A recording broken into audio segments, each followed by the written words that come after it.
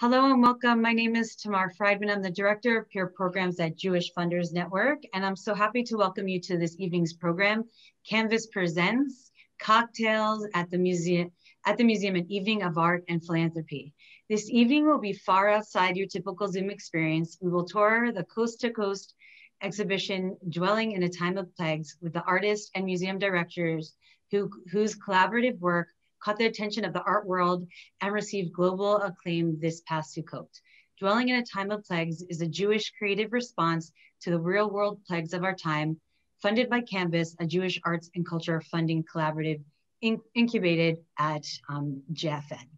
And now I'm happy to introduce Mary Ann Weiss, who is involved with Canvas and a supporter and funder of Canvas, to get us started today. Thank you, Mary Ann. Um, hi, everyone. My name is Marianne. I am um, a program officer at the Schusterman Foundation based in DC. And I, um, I just wanted to share a little bit about, uh, as a funding partner representative, why um, arts matters to Canvas partners. Um, but before I jump in, I just wanted to say thanks to Canvas, JFN, all the artists and organizations. Um, as not an artist, I'm really humbled and just by the creative and um, just the amazing artists that are on this call. So um, thank you to you all. So why, why does art matter to us? Um, beyond supporting art for art's sakes, we believe that arts and culture are critical components of a vibrant Jewish life. Arts and culture brings people together. It educates and engages. It infuses pride and it preserves, expresses, and revives the collective Jewish story. Building and sustaining Jewish community depends on a vibrant art and culture sector. This is particularly important in this moment we find ourselves in, where people are yearning for connection and meaning, and arts and culture is a way that um, we're finding that. We also know that arts and culture is in great need of, Jew- of um, support and recognition, especially in the Jewish space. We think that Canvas can be a powerful vehicle for bringing new levels of support, collaboration, and visibility to the field. As a collaborative model, we believe that we can do more when we work together. And this collaborative approach is reflected in the exhibits you're about to see. It's a real collaboration, a moving collaboration between four networks, three museums, and the 14th Street Y, three world-class artists and dozens of other creatives. This is also a new effort, um, a new journey that we find ourselves in, and we're learning along the way. And we're also experiencing the best the Jewish creative community has to offer in the process. So we're excited to invite you into this process to learn and experience it for yourselves tonight. Um, on that note, I will pass it to Lou Cove, founder of Canvas, to get us started. Thanks, Marianne. Uh, thanks to JFN for hosting us tonight. I have a quick public announcement uh, service announcement, which is if you are wearing restrictive clothing, your camera and change right now because you have about five minutes until you're going to be led in a movement exercise with former Alvin Ailey dancer extraordinaire Adam McKinney. Um, you don't want to miss it and you want to be limber for this exhibition tour. So you have our permission to don your sweats if you haven't already. Um, but keep listening uh, because we have important things to say. If your clothes are loose, you're not, you may start drinking your cocktails now. Uh, Marianne said it, we created Canvas because we care deeply about Jewish art culture. As funders, we recognize its potential to further our own philanthropic priorities. Uh, many of you have heard me say before, we believe in a 21st century Jewish cultural renaissance. And you don't get a renaissance without a few Medicis, generous patrons who value the work, which is why I want to thank our five founding partners, Schusterman, Jim Joseph, Righteous Persons, Peleh, and Klarman Family Foundation for coming together to support Canvas. They came aboard not to a closed club, but to encourage others by their example to support this field, and it's working. Tonight, I'm pleased to announce a sixth partner that has officially joined just this week, uh, the Jack, Joseph, and Morton Mandel Foundation. We're so glad to have them, and we're so glad to have all of you with us. So thanks for joining. Uh, Canvas is not just about funding arts. It's also about advocacy and education about the field. So if you like what you experienced tonight, I want to invite you to join our new funder peer group, which is dedicated to learn more about the field. We'll meet once a month for a lunch and learn, no financial obligation, and we will be joined elite artists and experts. And one of our first guests is going to be Osvaldo Golijov, who is a MacArthur Genius Award winning composer, subject of a major New York Times profile over the weekend. This is all happened because of the imagination and the hard work of four of our network grantees, Asylum Arts, LABA, Reboot, and the Council of American Jewish Museums. And by joining together, they and the participating artists and museums have all found larger audiences, hidden up in national and international and elite arts applications, and will hopefully garner more recognition and support as a consequence. So we really view this project as a win for strategic philanthropy. It's a win for Jewish arts and culture, and it's a win for everyone who participated. All become greater than the sum of their parts, and that was just for Sukkot. Wait until Passover because we've got a whole other round coming. Before we get there, I want to introduce you to the woman who conceived of and curated Dwelling in a Time of Plagues, the executive director of the Council of American Jewish Museums, Melissa Martens Yaverbaum. Thank you, Lou. Uh, good evening, everyone. I'm so glad to be here tonight. I am excited to share this project with you we uh, started thinking about this in late summer. And as you know, we had all been through a season of Pesach where we experienced holidays like we've never experienced them before. While we were disconnected physically and geographically, there were so many people still seeking meaning and beauty for these times.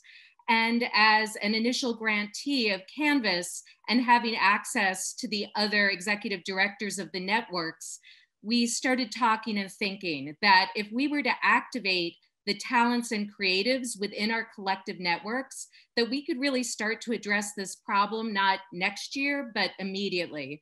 So that's what we set out to do. We started with the hypothesis that if there are people seeking Jewish experiences and meaning, that we could pair them with museum sites within the network of CAJM we could activate artists and we could ask them to respond to issues of our times and the holiday. And as we looked at the calendar, we realized the holiday of Sukkot was fast approaching. And so we turned to several of our talents that we knew that we could trust to move the work forward with great speed. And with the investment of Canvas, we're able to push the work forward really, really quickly. So tonight we're gonna see the results of the first round of the work. Um, what also came out of it was really a larger field-wide dialogue. I think we realized we were prepared to work in ways that we hadn't worked before. We asked the museums to activate their outdoor spaces. This required a lot of ingenuity. We asked artists to respond to those sites even if they physically couldn't travel there and we commissioned site-specific work within a few weeks. So it was really a unusual project. It was asking a lot of all the talents involved, but because the ecosystem was working with the investment behind it, we were able to activate it really quickly. So um, the results are the works you'll see tonight. We also were able to get attention of a lot of press. You'll see some of the press that's out there in Hyperallergic, Jewish Telegraph Agency, The Forward, Dance Magazine, and several other stories that are still coming out. I'm really happy to say that uh, coming up for Pesach for the next round and the next season, we already have 11 cities interested to host works. So the word is getting out there and we're so proud of what we've accomplished so far. So this is a really for us as people who work on the creative side of Jewish arts and culture, it's an example of the magnifier effect that when people work together, that the what we can do is so much bigger when we are all in it together. But before we get started, uh, Adam McKinney is going to lead us in that movement warm up exercise. So take it away, Adam. Thank you, Melissa. So good to be with you, everyone. Um, uh, Marianne, you shared something so beautiful in your remarks, and it's something about uh, the results of COVID 19, and it shows us that we struggle around connection and meaning. And I wonder how, through this particular format and program, we might find those two pieces connection and meaning. And for me, as a dancer and a choreographer, I always go back to my body. And luckily, we are all dancers because we have bodies. So I welcome us uh, to take the risk and join in in noticing our breath. So I'm going to take one hand to my chest and uh, just another hand to my belly. And just for a moment, just I welcome you to notice your bodies. And notice your breath.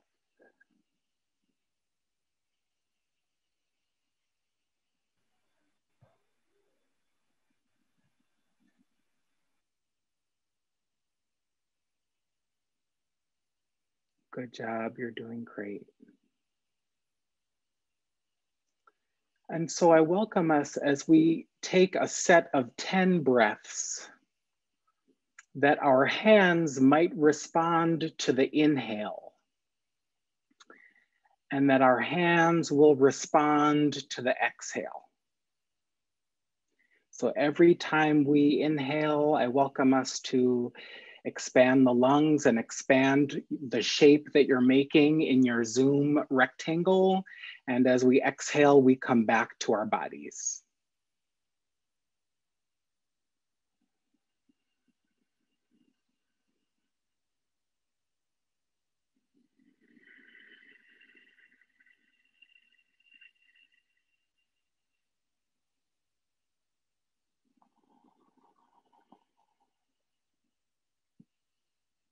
And you might notice that your shapes might get bigger and broader the deeper you breathe.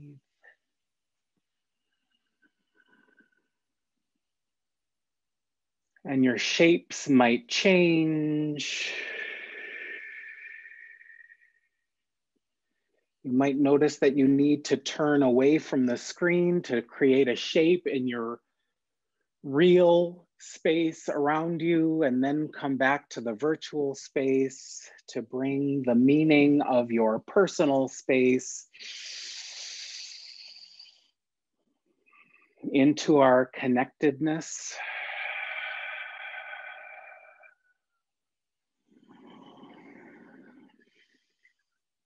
And that your shapes will inevitably change.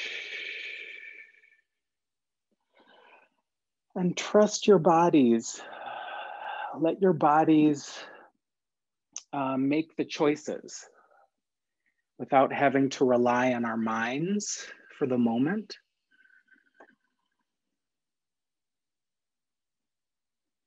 Always coming back to your center. Maybe three more shapes, three more breaths.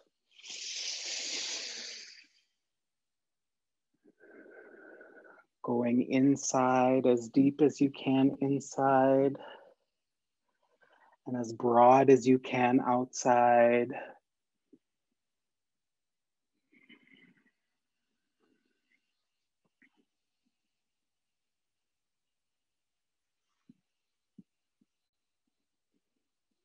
Really good team. I could do that all night, but we I think we're going to keep moving forward. Lou, I loved the hug you gave yourself. That was pretty glorious. Thanks, everyone. That was beautiful. Thank you, Adam. Thank you, we really appreciate that. I'm going to share my screen just to introduce you to the museums and the artists we're going to hear from tonight, where we would normally be together for an exhibit opening in a really different way. I will share a few images. So to get to know our project, Dwelling in a Time of Plagues, you could see there's a little bit of a doorway or a, a keyhole in the center of our image, and we're gonna take you through that keyhole. You'll get to see work at the Holocaust Museum LA, at the Jewish History Museum in Tucson, and at the Jewish Museum of Oregon. we would normally be together at a reception that might look like this for an exhibition. We would bring out the, the catering and the hors d'oeuvres. We would get the, the really good fruit platter. But tonight we're gonna have to use our imaginations to travel across these different cities to see the first iteration of this project. And uh, we're gonna look as we approach, we are going to take our first stop in Los Angeles and approach the Holocaust Museum LA. And with that, I am going to stop sharing my screen to introduce my wonderful colleague, Beth Kean, the Chief Executive Officer of Holocaust Museum LA. Take it away, Beth. Thank you, Melissa. It's so nice to see everyone. Um, this is very thrilling um, because we can, we get to say thank you to all of you um, virtually.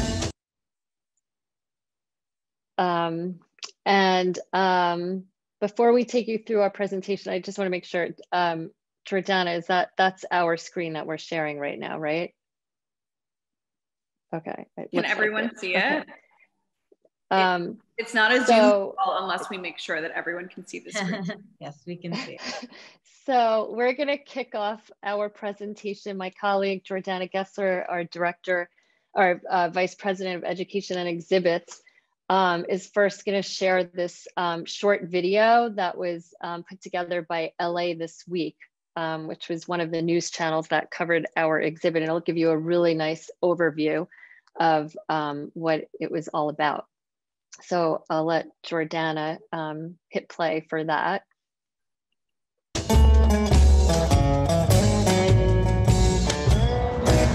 Holocaust Museum LA is thrilled to debut its first exhibit since the pandemic started. This uh, exhibit is a, an art installation in honor of the Jewish holiday, Sukkot. So the idea is that this year we can't gather in a Sukkot together because of our circumstances.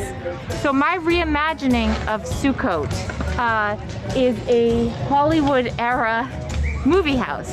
So it's kind of an homage to the golden era of Hollywood. The purpose of the exhibit is to house and honor the virtual stories of our elders. I've been traveling the country over the last three years, interviewing older role models in their 80s and 90s that really show what it means to have a great last act of your life. We all need to learn from our elders. They inspire us, and that's what really helps us get through this, you know, challenging time right now. I've had the, the good fortune to interview um, Larry King and Norman Lear and Ellen Burstyn and Tommy Chong uh, and uh, Carl Reiner, which turned out to be his final interview. The most interesting thing right now is that el our elders are overlooked community, yet they're the most resilient to deal with this moment in time. And they have the stories, the experience. They've been through so many different experiences to teach other generations that really haven't had maybe this hardship before. How do you deal with this? How do you get through it? Um, how do you stay positive? How do you live your life in a way that's meaningful? How do you find the blessings during this difficult time. And to be able to visually hear, you know, a Holocaust survivor, to stand here in a park, so being socially distanced, you know, in a very safe way, it's it's very different than just sitting at home watching something on your computer. My attempt at building this is really to house the stories of our elders and it's a call to action that hopefully you'll come out, enjoy this, and then call your grandmother, call your mother, call older loved ones in your life.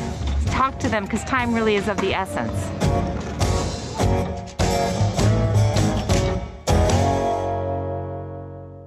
Holocaust Museum LA is um, the oldest Holocaust museum in the United States. We were founded by survivors in 1961 who wanted to create a safe space where they could remember their family members who perished in the Holocaust uh, showcase their precious artifacts and um, start educating young people um, about the Holocaust free of charge. So we teach the history and the lessons of the Holocaust and uh, make it relevant to today's world.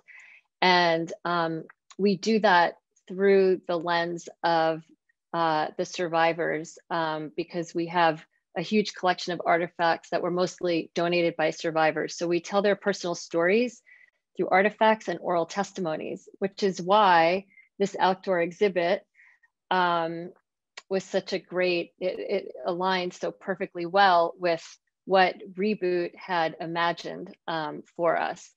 Um, you know, listening to our elders and survivors and learning from them and, you know, learning how to cope, um, how to get through challenging times for us, like a, a pandemic, um, is really important. And it's really important for, you know, people to learn from them. So while, you know, the museum's been closed since March, uh, we've really been inspired to open our hearts and minds and, and find innovative ways to commemorate, educate, and inspire. So when Melissa brought this opportunity to us, we were really excited and it's been a really wonderful partnership with um, our friends at Reboot and at CAJM, and um, it's been successful on so many levels. And it's really been amazing to work with such talented people um, and to see the impact that this exhibit has had. It was our first outdoor exhibit. The museum is located in a public park in Pan Pacific Park. And um, this was the first exhibit for us um, that was outdoors. Um, it was really the first exhibit in, in the history of the museum since we've been open in this space. And there's really no substitute for seeing art up close in person, as we know. And, um, and so for us, while we quickly pivoted to this virtual um, environment, um, this really uh, made such a huge difference and provided um, something different to the community and it was family friendly. So I'm going to stop there just to give you a brief overview of who we are and, and um, what a great partnership it was. And I'm going to hand it over to my colleague Jordana um, to take us through um, the presentation now. Thank you. Yeah, thanks, Beth. So a lot of what um, Beth said, and I'm gonna give the artists space to kind of describe their vision of how they blended Los Angeles history and culture, um, the feelings, the emotions, the history, the traditions of Sukkot, and also being aware of what's happening in our world today and current events that are challenging us as a community. And so I wanted to thank everyone on this call for giving us this incredible opportunity. Um, I think, you know, being in a public park and allowing us to engage the public who, as you can see, are walking, skateboarder, you can hear the skateboards in that video, um, bringing their dogs for dog meetups. And it just gave them a space to think, you know, what is this? How can we come together as a community? What are the holidays that we're discussing? Who are the elders in our own communities who we can speak with? So I just want to um, thank everyone for this incredible opportunity and also hand it over to Tiffany and Noam, who will tell us more about this incredible art piece and how they engage the public through it. Oh, I'm sorry, Jordana. I just, I first wanted to kick it over to David Katznelson and introduce um, the CEO of Reboot just to say a few words um, and Thank you. Um, hey everybody. I see some friends out there and some people who i don't know but look like they're interested in this work and that's so appreciative. And i really want to just thank canvas and lou and everybody here who has um, inspired us to do this. Uh, reboot reimagines and re-envisions uh, jewish traditions and, and stories um, by working with artists who have amazing capacity of doing great big things. And i get to um, introduce the artist to you today. Um, first of all, I just want to say to Beth, so great to work with you. You to try to figure out ways of making stories relevant in our in today's world. We both are storytellers, and it's just been such a great partnership um, with you guys, and such a great opportunity for us. Um, but to the artist, Tiffany Woolf is a friend. She's an amazing visual artist who came to Reboot a while ago with this idea that you know, there's all these stories that um, each one very, very different and very, very special that are being lost in time. Um, and that, you know, she wanted to start recording them many times using uh, younger people to do the oral history um, and learn how to edit these oral histories to a place where we can all see them and enjoy them as a way of teaching history in sometimes the most impactful way. Um, and uh, it's just amazing to see how this uh, project has grown over the last couple of years And I feel that the uh, the sukkah that we did um, in uh, in LA, the sukkah that she did, um, is just such an amazing um, cap to the very beginnings of this project. And with that, I'd like to introduce uh, Tiffany Woolf and Noam Dromi, who works with us, who has worked so closely with Tiffany to help develop this project. Um, take it away, guys. Well, hi, everybody. First off, I want to thank you for the incredible privilege and honor to be a, bar, a part of this national project, and most specifically in uh, Los Angeles, working with um, with Reboot, of course, and with Holocaust Museum LA. Um, just if I can give you a little bit of background. Um, I went to Reboot a few years ago, uh, about three or four years ago, with this idea of trying to capture stories of our older role models and older loved ones. Um, I lost my parents very young, and I realized I didn't have the personal role models on how to navigate life's major milestones and what it looks like to have a great last act of your life, what it looks like to be a great 85 year old, 90 year old. So I set out on this mission of capturing stories of everyday loved ones, um, and just everybody has an inc- incredible story to tell um, from uh, Barbara Barrell to uh, Risa Eaglefeld, this beautiful 102 uh, year old Holocaust survivors who's, who's taught me and, and audiences who watch the films about following the blessings no matter what. And then as, uh, as of course COVID hit, we really didn't have uh, the um, opportunity to continue in the way we were doing it because of being in, uh, in lockdown. So we thought, well, what can we do right now to capture the stories? Uh, and uh, so we decided to, because our older community are the most isolated right now and also the most resilient and have the, the kind of roadmaps on how to have other help other generations uh, get through difficult times we decided to use the digital tools we have and we started um, calling uh, the legends we love. So we interviewed Larry King and Norman Lear, and as mentioned in the video, Carl Reiner, who uh, happened to be his last interview, which really showed the time is of the essence to capture these stories. So when we were given this opportunity to house these stories in a way for Sukkot, it was just such a privilege, especially during this time of the pandemic, to have a physical space for people to visit. Um, we we wanted to to to have folks hear and watch the films, and um, I'll let Noam perhaps jump into, and we can explain Ushpizin of the silver screen, which um, the Ushpizin are the symbolic guests that come to the Sukkot every night to impart wisdoms of benevolence and kindness and spiritual affirmations into the Sukkot.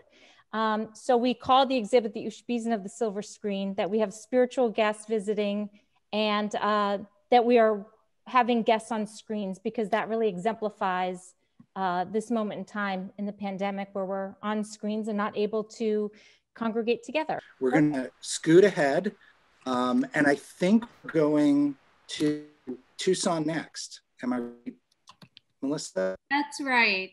I would now like to introduce you to my great colleague and friend, Saul Davis, who is the executive director of the Jewish History Museum in Tucson, Arizona. And for those of you who have not been physically to that museum, it is doing wonderfully creative work, innovative work, and very socially conscious work. So with that, I am going to turn the floor over to Saul to tell us more about the museum and the project. Thanks so much, Melissa. Thanks to JFN, to Canvas, to CAJM, and LABA for making this shidduch between the Jewish History Museum and the visionary artist, Mirta Kupferminc, um, for making this shidduch possible. Beyond the powerful work, the sukkah that we are now holding on our campus, we're also holding this very special relationship with Ronit and Mirta and we're deeply grateful for that as well. The Jewish History Museum is located in Barrio Viejo on the southern edge of downtown Tucson. Barrio Viejo is one of the oldest neighborhoods, not only in Tucson, but in the entire region. We're on the ancestral lands of the Tohono O'odham people who continue to live in this region, and we're in the Sonoran Desert. This museum is 55 miles from the US-Mexico border and I'm standing on the bema of the first synagogue built in the Arizona territory. This building is now the flagship of our museum campus. And adjacent to this historic temple building is our Holocaust History Center, which is the only Holocaust museum in the state of Arizona. And within the Holocaust History Center is a contemporary human rights gallery that is currently presenting an exhibition titled Asylum that represents the experiences of migrants in these borderlands and raises up all forms of resistance to oppression along the border. So Mirta's sukkah installation titled Clamor en el Desierto, Clamor in the Desert, is situated between the historic temple and the Holocaust History Center. And I'll turn it over to our curator of exhibitions, Nika Kaiser, to speak about the installation. Hi, everyone. So great to be here with all of you. Um, so at the Jewish History Museum in Tucson, we're working within a social history framework. Um, and that is one that amplifies many voices, often of those who are marginalized and have underrepresented stories. So this framework is meant to cultivate an inclusive and participatory museum culture. Um, and one element of that work uh, is that we work with local artists as a way to enhance and expand the community of the museum, um, to practice the connection of social history um, that's present in that type of collaboration. So the opportunity to work with Laba, Ronit, and Mirta on this project expanded that to an international scale. Um, and the nature of working within a pandemic is inherently collaborative. And we found this process to be so generative. Um, imagining the development of an exhibit with an artist and facilitator across the world, with a fabricator and team of installers on site, um, couldn't have worked more seamlessly. And I think that's due to the nature of uh, how we've all had to come together in this time.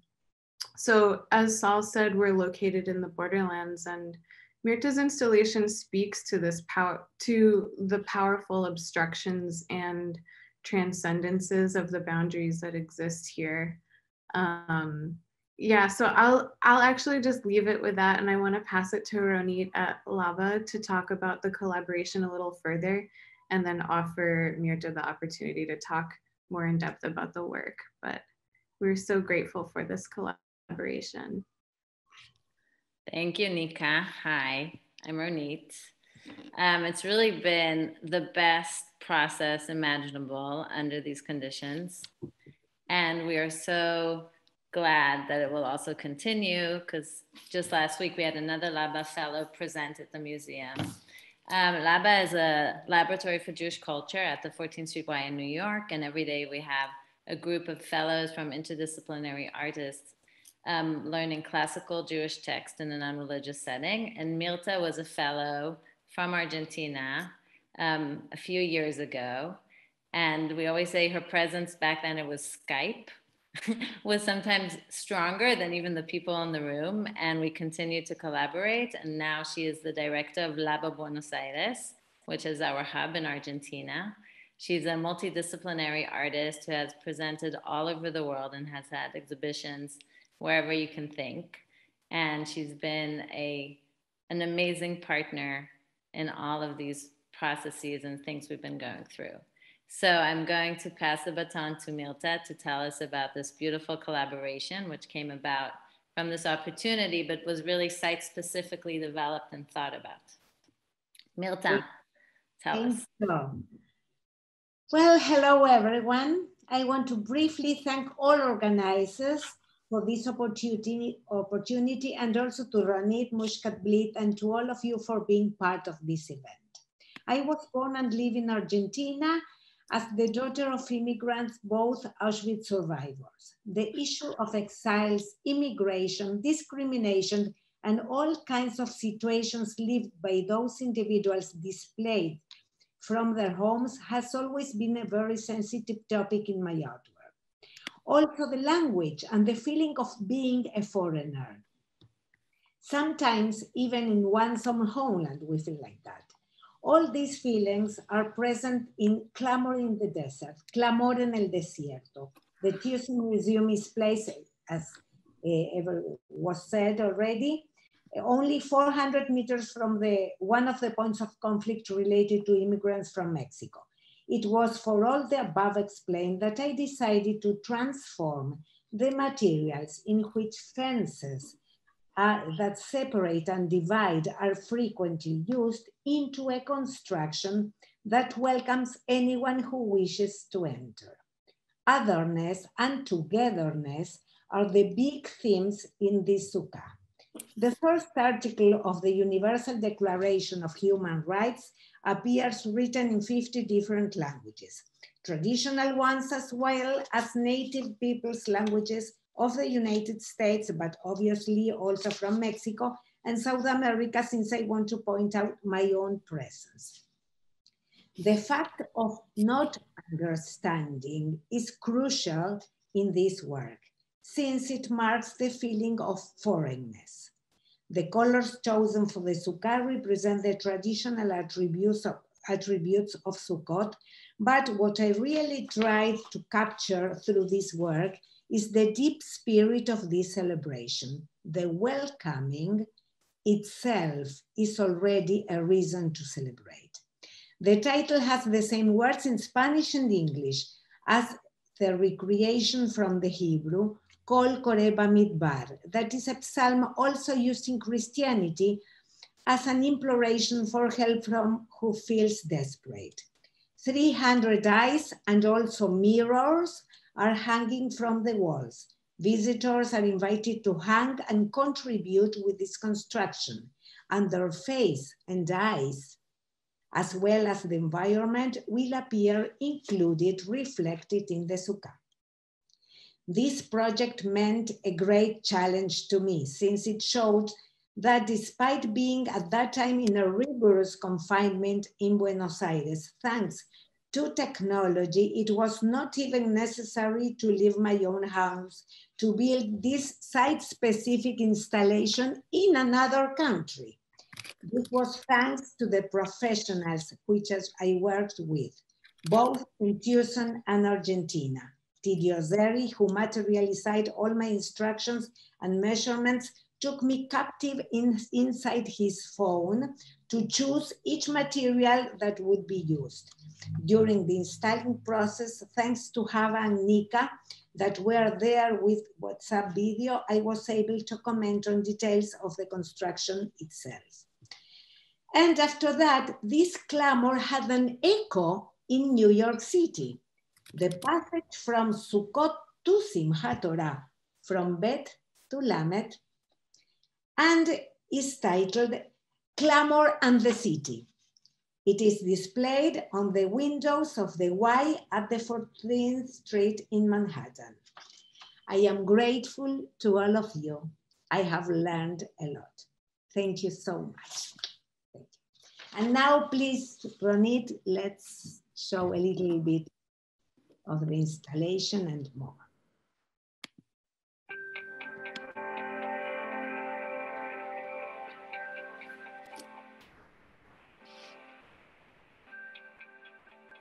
El movimiento de personas en todo el mundo no deja de conmover.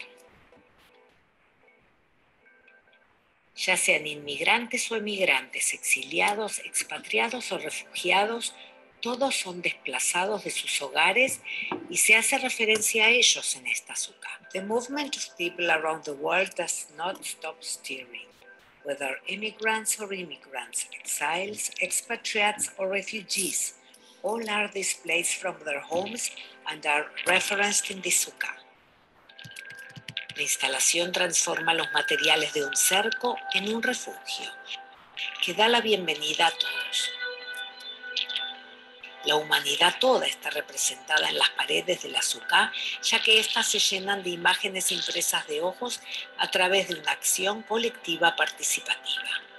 This installation transforms fence materials into a shelter that welcomes everyone. Humanity is represented on its walls as they are filled with printed images of eyes through a participatory collective action. Hoy, aunque nuestras bocas estén cubiertas con máscaras protectoras, nuestras voces en nuestros ojos continúan reclamando justicia.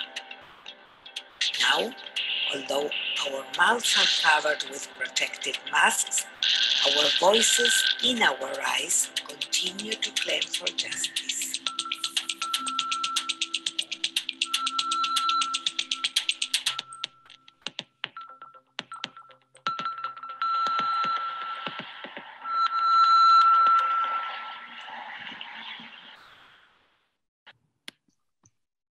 Thank you, Ronit. And um, we're just going to show a few images from the 14th Street Y. The 14th Street Y is on a major uh, walkway, and we have beautiful windows, and we're going to present an exhibition. We're going to be the windows of all the three exhibitions in Manhattan, in New York. So I'll just show you Mirta's adaptation for one second. So these are the windows of the Y where Mirta unscrolled the sukkah and uh, basically the eyes and the words are present for the people walking by or coming to the Y. I think now we're going to move along to our final location, which is Portland, Oregon.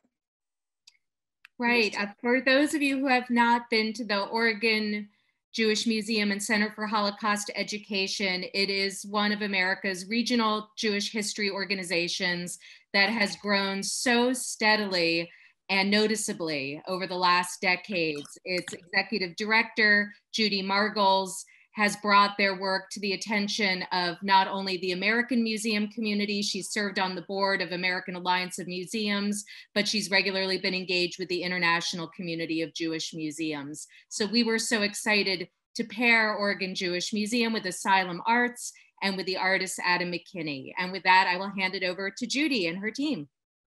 Thank you. We're excited too. I just want to echo the thanks that everyone has offered to the creative vision of Melissa Martens Yaverbaum, Lou Cove, the community of funders, reconnecting with Rebecca Guber, who I knew way back when, when she attended Reed College and interned at the museum, Asylum Arts, and my indispensable colleague, Alicia Babstein, who you're going to hear from in the breakout room, most of all, the inimitable Adam McKinney.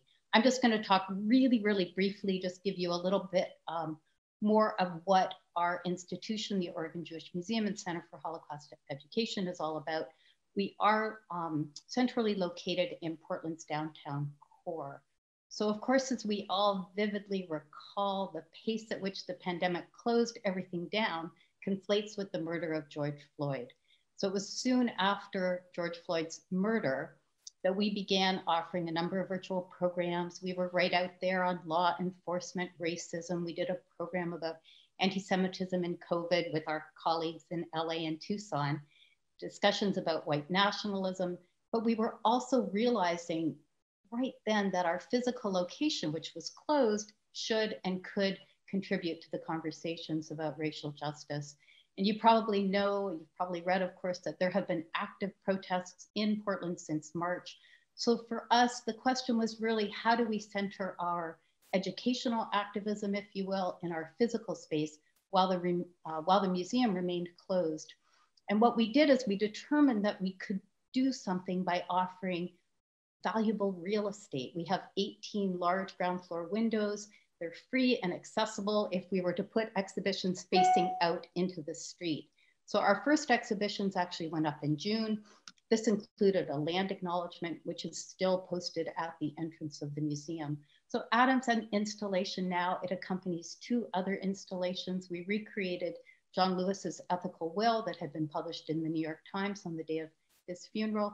And we also put up sections from one of our core exhibitions about the history of discrimination and resistance in Oregon. And I'll just end by saying the way in which Adam's installation Shelter in Place, it just works so deftly, um, helping us to illustrate Oregon's own overwhelming history of discrimination. Just one example, which you'll see when Adam talks about his work, his references to the Ku Klux Klan. Oregon in the 1920s had held the most powerful Klan west of the Mississippi. So really this opportunity, this amazing opportunity to work with Adam with Asylum Arts, Shelter in Place has connected our shared experiences and the way that we reckon with history. So I just enthusiastically turn the program over to Adam, who's going to tell you more about the installation. Thank you so much, Judy. Thank you. So good to be with you, everyone. Um, shelter in place, I use this language to declare emergency conditions. Not only the global pandemic, but also this particular moment in history when we are working to reconcile historical notions of race and the effects of racism. My interest as an artist is to look back to history to make sense of the present. It is lizchor. It is our charge to remember as Jews. Sukkot is zman simchatenu.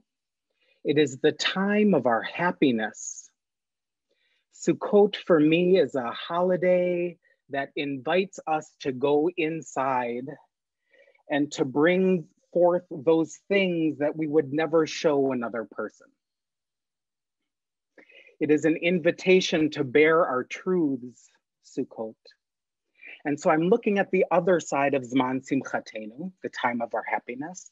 What is on the other side in this particular moment where we are working to reconcile uh, oppression? And so I chose to invert the sukkah. I chose to take those things that we hold on the inside and to bear them out, to open our hearts. Uh, I do this to look back to histories of trauma in the places that I dwell and position my gay, Black, Native, Jewish experience on the historical landscape of what it means to heal Shelter in place uh, has three main elements. The first being tintype photographs that I took with an amazing, amazing, amazing native photographer based out of Santa Fe. His name is Will Wilson. And they're tintype photographs of me dressed as Fred Rouse. Mr. Fred Rouse was lynched by members of the KKK in Fort Worth, Texas, where I live, in 1921 there are no pictures that I've been able to locate of Mr. Rouse. And so I've chosen to use my body as the canvas and as the physical landscape on which I would remember him. And so those five photographs make up a series of tintypes called Scab. Mr. Rouse was a non-union worker. Also looking at historical hurts and what's under a scab. What do we need to pull off to show in terms of those historical truths. Um, there are three photos that were chosen for shelter in place. The second of which you will see is myself dressed as Mr. Rouse in front of Fort Worth's former Ku Klux Klan auditorium that still stands here in Fort Worth. And we are working to acquire and transform it into a center and museum for healing uh, and community. The second element of shelter in place that I'd like to share with you are dance films. The first is called Unfolding History, and it is myself dancing as Mr. Rouse.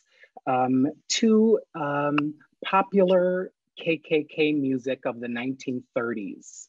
I've chosen to bleep out the N word to think about the power of language and this insidiousness uh, with which uh, language impedes our understanding of who we are in the world and my representation as a Black person in the world. And the second film is called Glorious Clouds. It is where I locate my gay spirituality and magic. It is my Shekhinah. It is my divine uh, divine feminine presence of God, and it is located at the intersection. It is at the corner uh, of, of uh, the Oregon um, Jewish Museum and Center for Holocaust Education. So I'm going to show you a film now that was created of the exhibit Shelter in Place. Thanks, everyone. So pleased to be with you. Just one moment.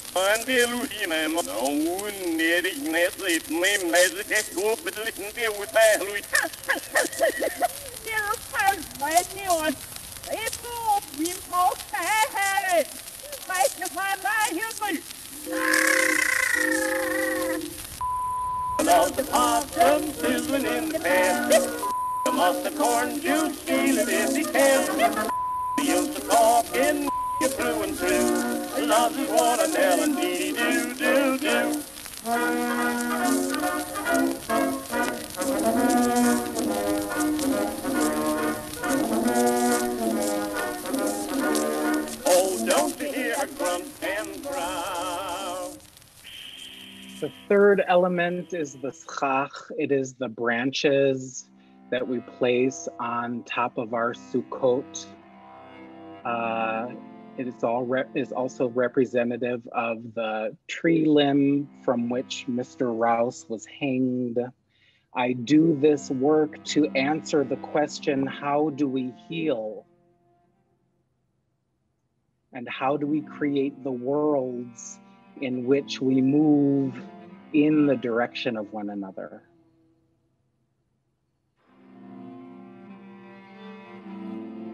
Afafuni.